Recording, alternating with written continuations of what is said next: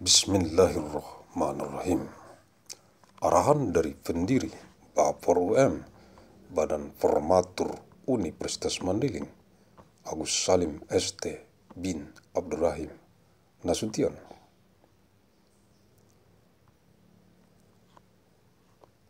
Peraturan Pemerintah Nomor 23 Tahun 2010 tentang pelaksanaan kegiatan usaha pertambangan mineral dan batubara.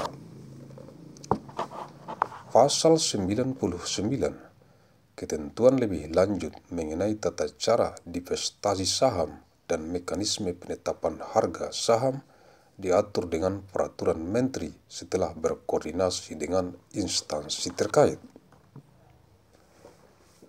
direkomendasikan kepada jurusan teknik pertambangan Universitas Mandailing dibacakan oleh Agus Salim ST bin Abdurrahim Nasution, pendiri Papor UM, Badan Format